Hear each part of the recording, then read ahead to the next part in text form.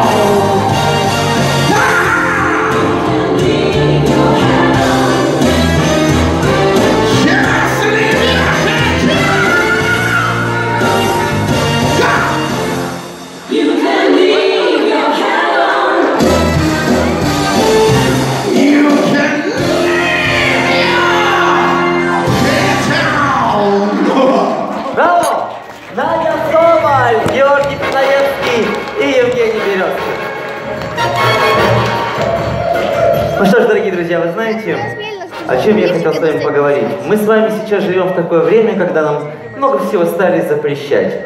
В том числе и запретили нам азартные игры. Но нам, артистам, как известно, закон не писан, поэтому сейчас эта сцена на несколько минут превратится в казино. Она превратится в то самое злополучное место, где вершатся судьбы, где всегда везет новичкам, где неизбежно понимаешь, что наша жизнь